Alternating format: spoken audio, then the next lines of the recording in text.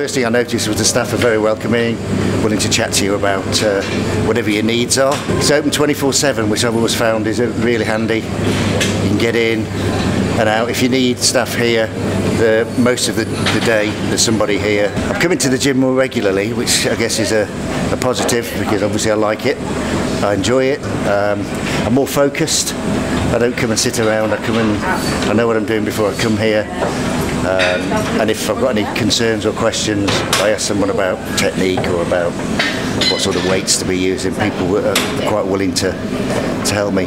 And it's not just the staff. There are other other users who all all seem friendly as well. I would definitely recommend Re- uh, Revolution Worcester to any anybody who's looking for a gym in the local area, um, and I definitely recommend it to my family and friends.